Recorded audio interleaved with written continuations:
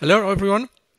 Um, my name is Sebastian. I'm main I've been maintaining the Preempt RT kernel since 3638 series. And I'm trying to present um, what pieces were there, which were mainline, when it happened, how it happened, and yes. It's the first time for me here for being at the kernel recipes. I'm very thankful. It's a very nice conference. So let me go on. Um, for RT, we use mostly cyclic tests and among other tools to to test the system. So this is um, what the output generally looks like. Um, each column of lines um, represents a part of, uh, of something. Um, what cyclic test does is measures the wake-up latency. What it means is cyclic test programs uh, every interval like in this case 1000 milliseconds, uh, 1000 microseconds for wake up, and then it goes to sleep. When the actual wake ups happens, it measures the delay between the programmed wake up and the actual wake up time.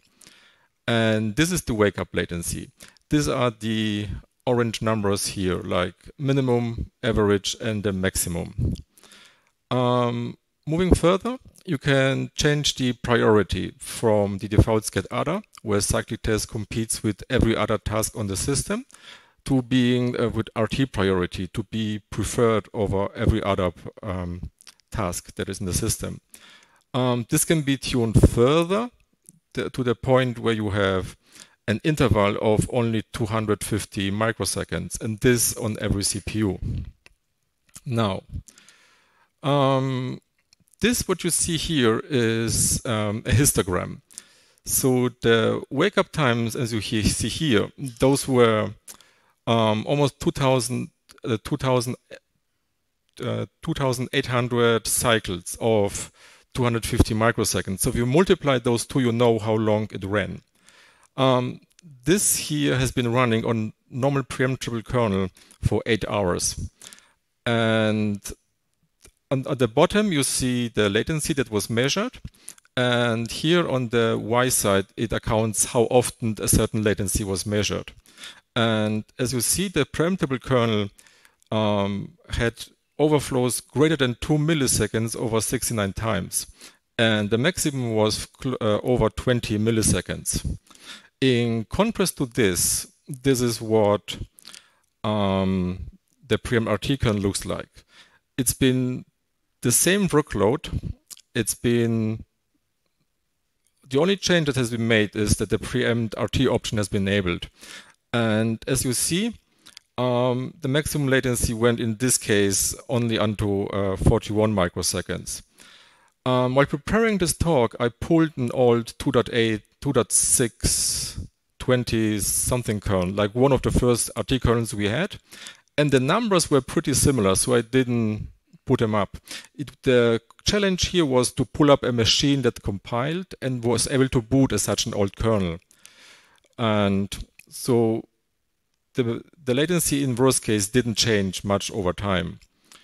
Um, this, in contrast, is what preempt versus preempt RT on the same machine for the same workload on the same base kernel version looks like.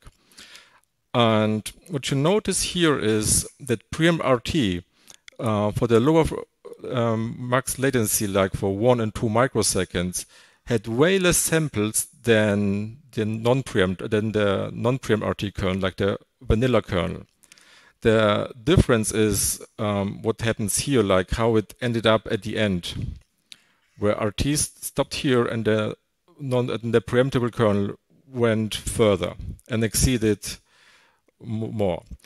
So from that point of view, what would you say we need um, to implement a Preempt RT system? Um, based on what we know today, this is more or less what we have, what we were looking for. So to be able to um, figure out the time, since you need to uh, make very close sleeps or figure out the time in high resolution, you needed a clock source and clock events to be able to figure out the time that we have, very high accurate, and to program and delay, like a sleep, uh, perfectly what we call in one-shot mode. Earlier, before we had all those infrastructure in place, um, we only had a tick. So every wake up was based on the value you had with config hz. And there was even not an infrastructure to make uh, sleep for one millisecond. What you had to do was to abuse the select with no FD and thus use the timeout option for the wake up. And if you look over third of the system, you would prefer to have your RT task, if you have one, to, to be more important than the interrupt threads you have. Um, the more you use an RT system, you would like to have like priority inheritance and the scheduler is always an issue as we heard today again. And since the real-time task might uh, be huge and difficult, debugging infrastructure would be also important. Now, when would you like to start the RT project, like for real-time? Any guess?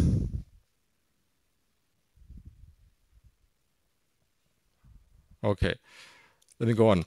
Um, looking at all those requirements that I just put on for the 2.6 kernel, we didn't have any of those. Um, what improved compared to, to 2.4 was the scheduler. Back in 2.4, the scheduler had to look on each context switch across all the tasks in the system and decide which one to put on. Um, this improved um, for the 2.6 kernel. And to make it slightly worse, um, we got RCU also again at the time. The problem with RCU at the time was that in its read section, it disabled preemption. This, however, forbids to schedule a task like the RT task with a higher priority, which in turn means um, this looked like a blocker for RT in the 2.6 series. Nonetheless, the timeline looked like this. Um, late 2004, like um, 20 years ago, uh, Sven Thorsten posted the first series, what could be an, an RT kernel. Um, this was a series of four patches with random features. And what it led to was to um, debate how real-time with Linux should look like. Um, before that, however, there was certain project against um, 1.0 kernel for Linux, like um, where different approaches were tested. None of those were public on LKML. Um, between the 2.0 and 2.4 series, there was a, the KURT project. KURT is the Kansas University Real-Time Linux. This was um, a prototype which was running on 2.4 in the end, which was like a prototype how to um, how a real-time Linux could look like um, in the end. Um, if you look at the dates, after Sven posted uh, his patches, Ingo Molnar was uh, busy and posted a few days later uh, another version of his uh, voluntary scheduler. This was um, what we have today in the kernel, but it wasn't back then. I was still working on it. And after a few days, while he was working on his voluntary scheduler, he picked up the work on the PREEMPT-RT patch set. Literally not, not even a week later. And the whole time frame, Thomas Gleixner picked it up even later. Now, feature-wise, what we have? lockdep was one of the requirements. I remember back then Thomas and Ingo argued because Thomas kernel was working, but Ingo's wasn't. And the root problem was that they had different hardware, and Thomas didn't run into the locking issues Ingo did. And this led over time to the lockdep validator, as Stephen explained it today. Um, this was never in the RT patch first, so this was one of those upstream first approaches. Um, to, um, HR timer was one of those things we had in RT since um, the early days. And we had to program a timer uh, which was highly accurate. And there was nothing like that in the kernel at that time the timerless approach was which was Jiffy based was the only thing that was available. Um, besides that one, there was the um, George Anzinger attempt with a with high res timers, and what Thomas presented, which was called uh, K timers at the end. Um, that K timers were a separate implementation, while the other things at the time tried to move in into the timer wheel, which didn't really scale. Um, another thing was futex with priority inheritance. This applied to, in the this came up in the RT. That 2.6.16 series. And it also required the necessary glibc parts to make it work. It, it ended up upstream a little later, but this was already kind of, uh, yeah, great news because 2616 for RT was like the first thing that RT was working in what you would call a productive environment. So people were starting picking this one and using it in real life products. Um, this is how priority inheritance works in general, but given that Stephen explained it today, I guess skip over it. Um, the next thing we had in RT was generic IRQ infrastructure. This was influenced back then what Russell had in ARM, and this was part of RT since early days, simply to simplify um, the threaded interrupts, which were also there. Um, later on, we had clock events and clock source parts, which was mostly the same thing. And this was the other part that you had the timers highly accurate, but you also required to have the um, the wake up time also um, to read the clock source uh, accurate at a high resolution. So those two pieces uh, belong together, were merged separately later. And then thankfully, a few cycles later, uh, preemptible RCU appeared. So instead of disabling preemption in the read critical section as it was done before, it was possible to, to remain preemptible. And you look at this, it appeared in 2612 in the RT patch set uh, in the beginning.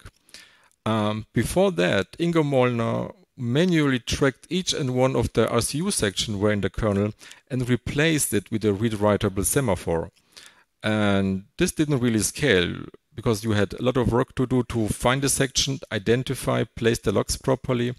And if you look at the kernel today, there are thousands of RCU sections which nest into each other. So this work wouldn't scale. So the preemptible RCU done by Paul was really a saver here. Um, tracing was mentioned by Stephen again. Um, this showed up early as what it's ca uh, called the mcount tracing utility. And the problem was it was only the mcount thingy. You had to recompile the kernel to enable and disable it. And then later, Stephen picked it up and make what we have in the tracing infrastructure later today with all those um, things. One thing worth, worth noting is um, that the dynamic tracing feature that it went upstream broke the E1000. And this bug was very, for a short time, in the 2.6.27 uh, post merge window. So it, so it was only fixed in the stable tree. I added a link to LWN where it was explained how it happened and what were the features that required that um, that it triggered. It was like the code was good. We never had this bug in RT, but during the merge upstream, there were at least two safe nets which were removed for other purposes, and then this happened. Um, late October, we got threaded interrupts. Um, it was not very welcome by all of the developers, but some of them said it is nice for developing because you could enable threaded interrupts, debug your interrupt handler, and if you do something wrong, this, the whole box would not crash and and you wouldn't get any output of it. So it was merged in the end in the two, uh, 2630. And then later we got the raw_spinlock_t annotation. This was the first thing that was merged and did not have any benefit for the non-RT kernel. This is simply um, an annotation to distinguish the spin locks which spin on RT and those which don't spin on RT. And if you look at the version between 2.6 and 4.6, there's a huge gap. Mainly because most of the features before upfront that were merged um, had some kind of beneficial support for the non-RT kernel. After that, it gets tough. Um, 4.6, we had um, CPU hot plug rework.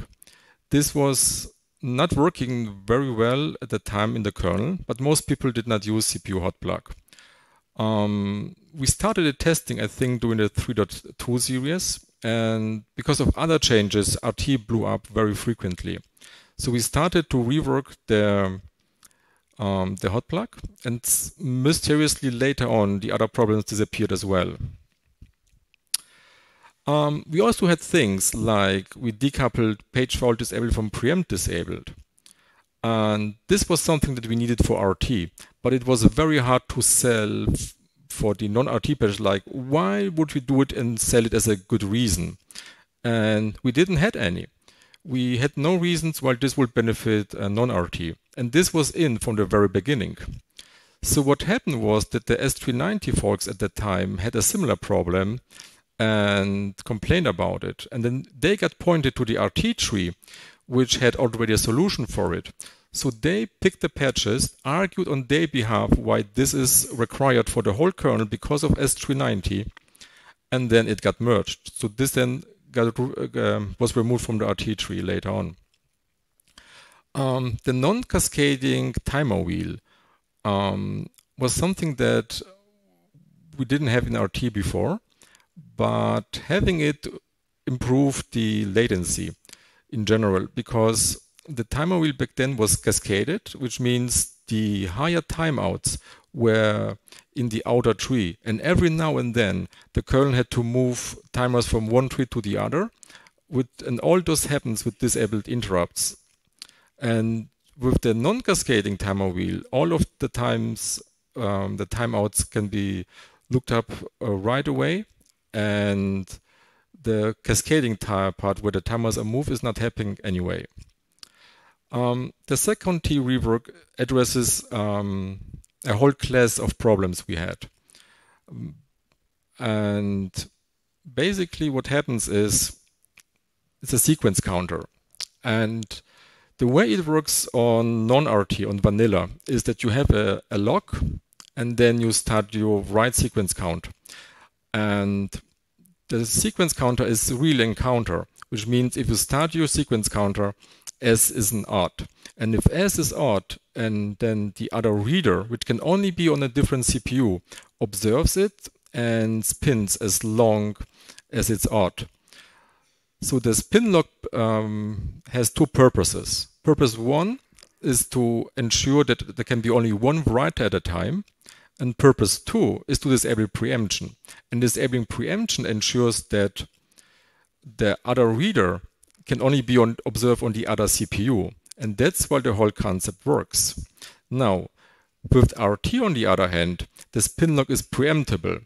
So what we can run into is that once we grab the lock and start a write sequence, that the reader can also preempt the task and spin indefinitely because there's no way of synchronization.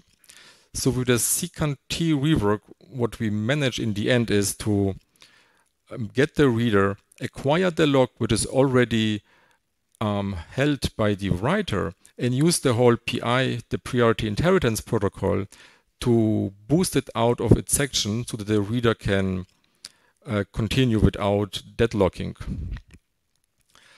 Um, after that, we had um, small pieces. Migrate disable was required, but um, the person that suggested it was um, Peter Zijlstra himself. He also made an early design for it that we included in the 3.2 series. Um, the reason for migrate disable was the way that per CPU variables were utilized. And this was introduced in the 2.6 series, the, at the very, very end but we didn't um, have that many users that, that it was um, seen on the surface as a problem. Um, Migrate Disable ensured that the task that is um, acquires a spin lock, for instance, remains on the CPU and is not migrated away. Um, this one was also tough to to sell initially, and it was one of the reasons why a CPU hot plug blew, uh, blew up on RT because each and every spin was using um, migrate disable. And if the CPU hot plug um, was not perfectly synchronized, then we had a deadlock during CPU hot plug. Um, during the series, um, there was a debate about HIGHMEM, and Linus Torvalds liked the idea of migrate disable for, for HIGHMEM reason on 32-bit like let's punish the users on 32-bit with HIGHMEM uh, for this implementation. And Peter Zijlstra didn't like it at all, but then he was he sat down and implemented it from scratch again, which ended up upstream. Um, local_lock_t is a log, which is a per CPU log based on migrate disable. And initially we didn't want to have it at all upstream. And we managed to rewrite all of the users one way or another. In the end, we had the MM folks and the C group department, which were completely against everything that we have thrown at them. So then those two de uh, departments were the actual reason why we ended up with local lock. And of course, PrintK. Um, ideally, in the beginning, PrintK wa wasn't really covered. We just disabled printing in atomic context and ignored it completely. And la later and later, more and more things uh, popped up, at which point in the 510 series, um, not earlier than that, we started working on PrintK, John Ogness namely.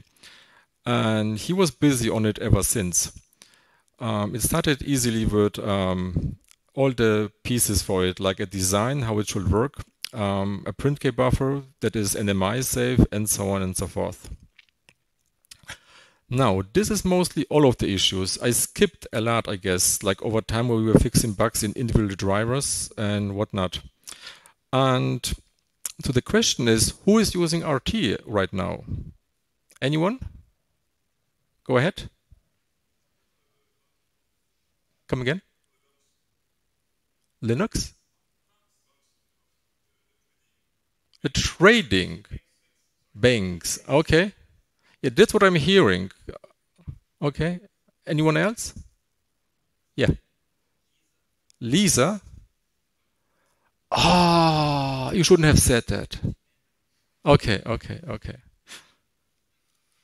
Now, this is um, a PLC, a programmable logic controller. There are plenty of those. Um, in terms of cycles, you have the PLC. Um, this is this device and then you have IOs on the right side.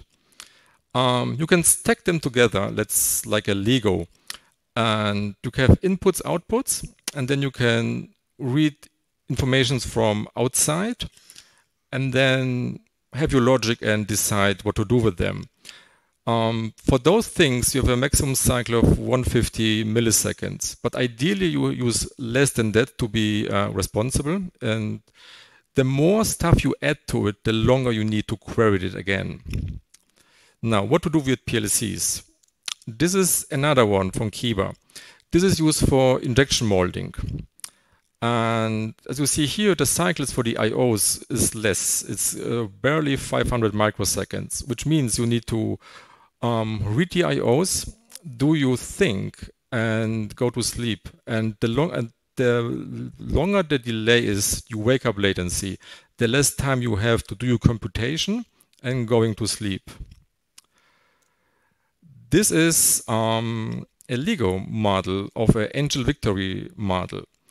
And the problem is that when I present here uh, RT products is that I have to gain on public knowledge.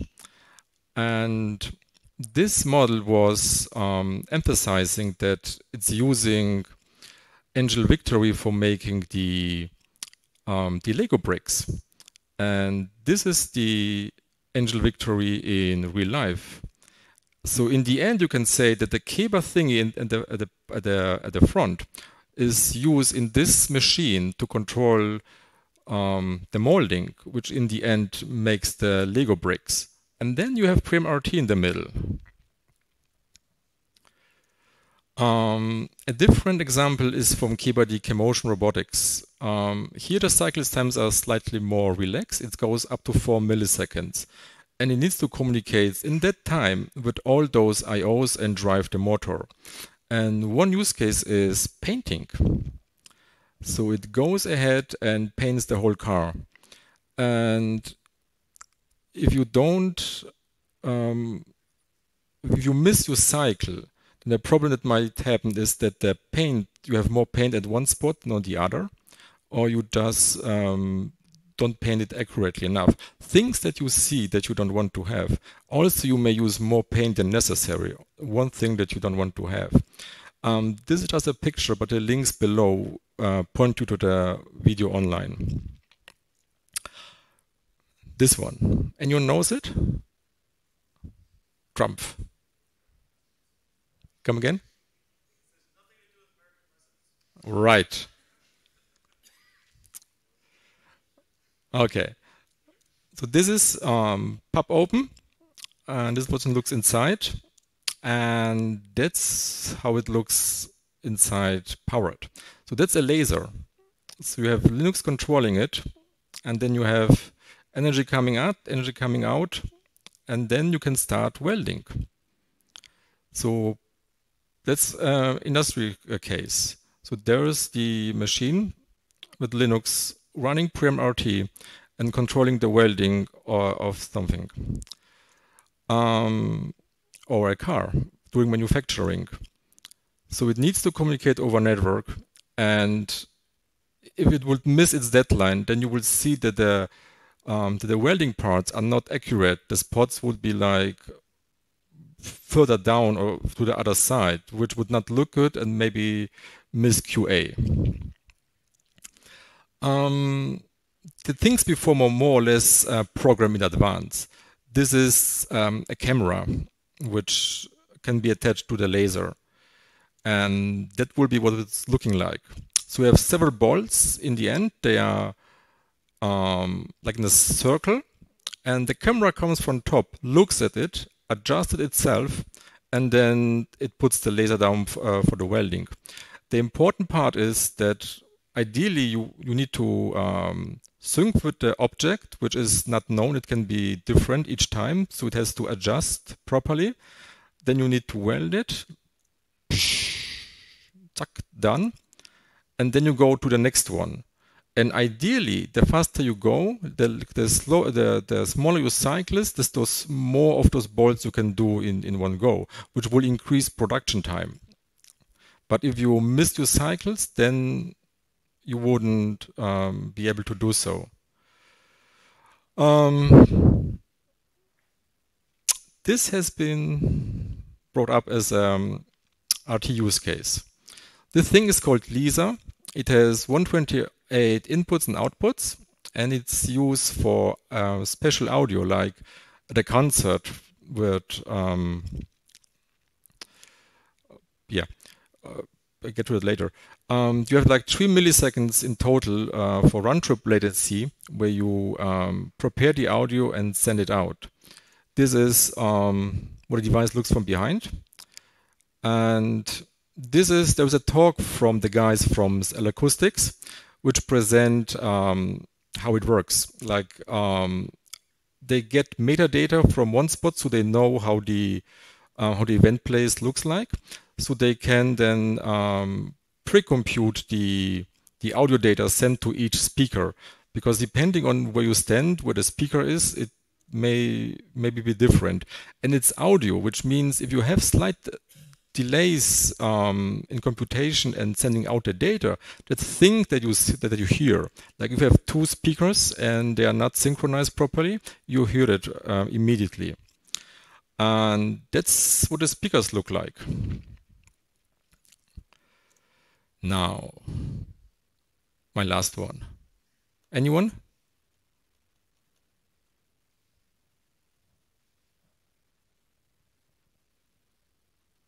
No one. Come again? No, there's a person. The question was, is it autonomous? Now there's a person sitting in it. Okay.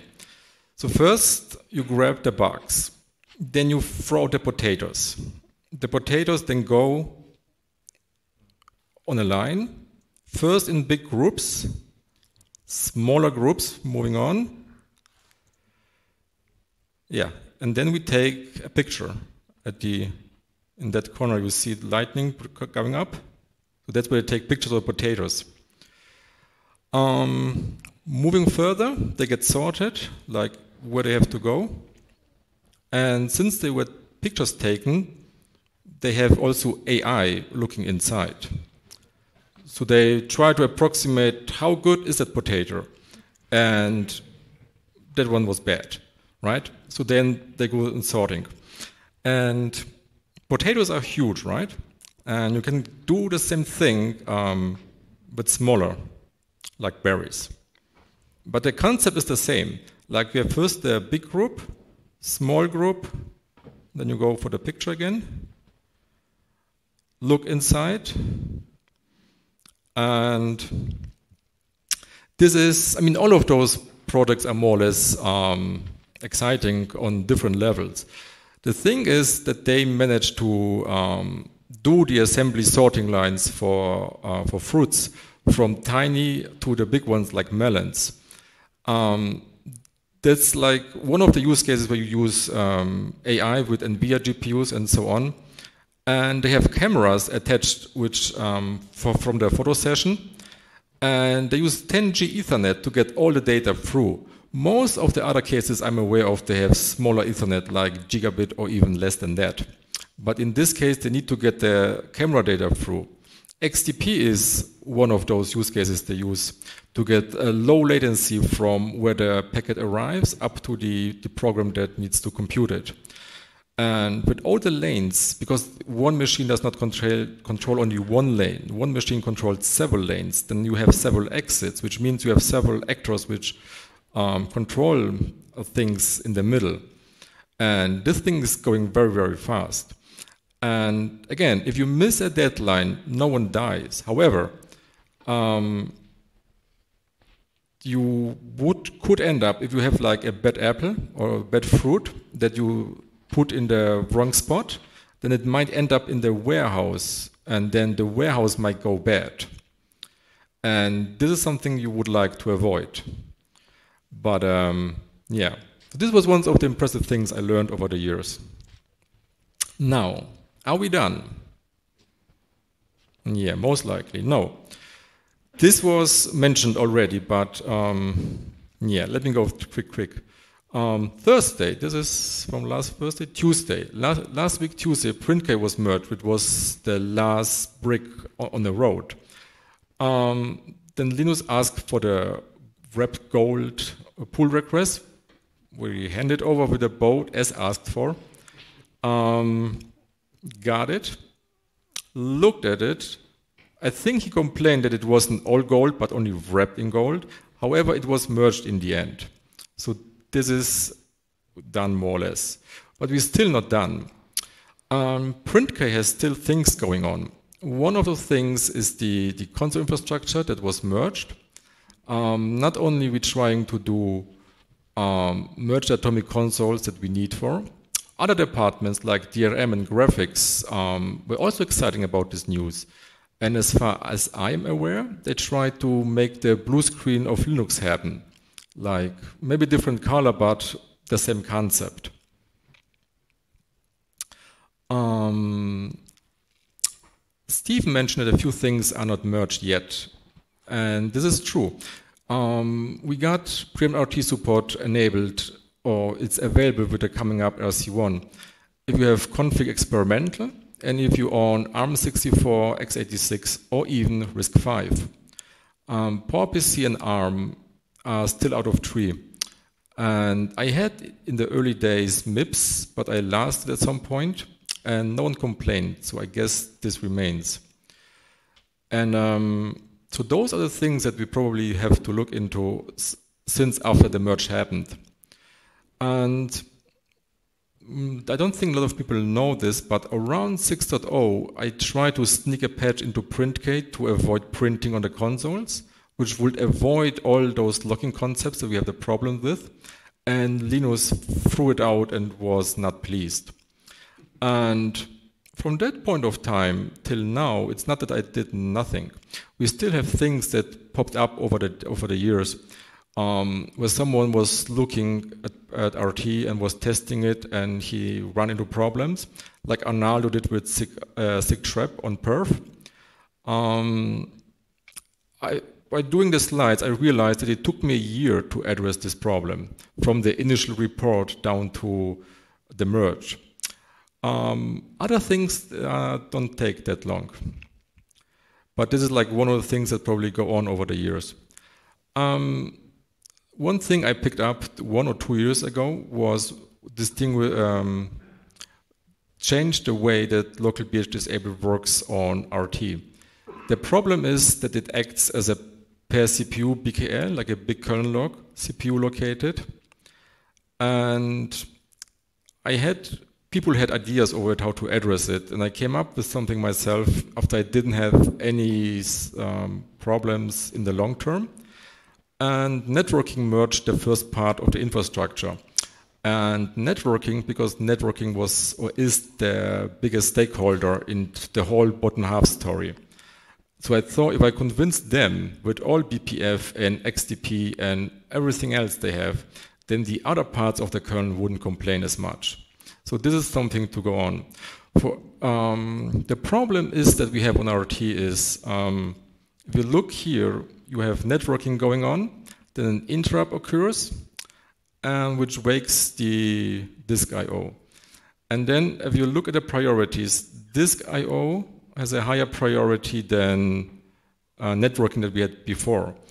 And what we have is um, that we do the PI boost, where we inherit priority, and then we go back to networking. And after networking is done, we go back to disk I.O. And this is just an example. This will go if you have like networking traffic and you have your FPGA driver for your real-time bus or whatever. Um, the idea that I intend to have is the ideal solution is that you have networking, um, disk I.O. comes up, and then you have this get switch, and this soft interrupt runs in parallel, preempts it, and continues to work on. And once this is done, networking continues. So this is, yeah. Thank you very much. Any questions?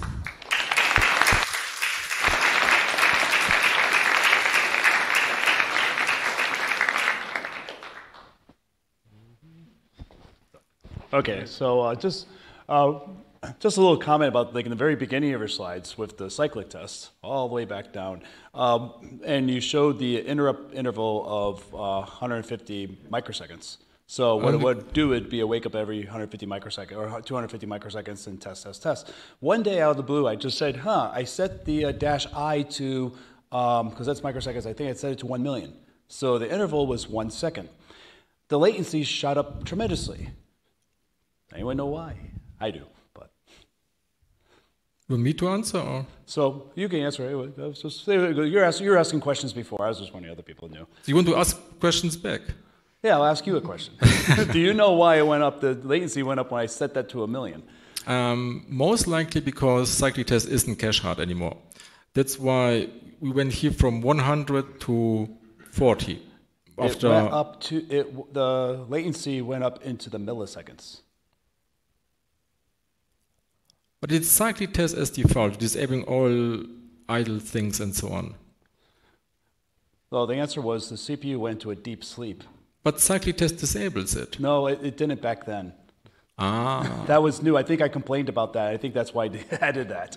Oh, okay. So back, it was it was years ago. I just said, "Oh, what happened here?" And I'm like, you know, uh, if the system goes into a deep sleep, I think that's when they added the, uh, the disabling of that. So yeah, trick question. Okay. What, wait, wait, wait, but actually, the reason why I did bring that up is if you ever do real time, you actually do have to be aware of the power. Uh, some people like run all these tests and think, hey, the latencies are great, and then suddenly the system goes idle, not realizing that the power savings kick in, and then your you know something event comes in and you're way late, and you go, oh, RT sucks. No, your hardware did. So. Yeah, there's still um, SMM and other things. I think with you, um, what is it called? There's one tracer looking for SMM interrupts. And I had had um, server grade hardware, which went to BIOS for one millisecond over one second period. So as the hardware, uh, the hwlat tracer, which also Daniel Bristot worked and added the uh, timerlat and osnoise tracers that actually show all that as well. Yes, yeah. great work.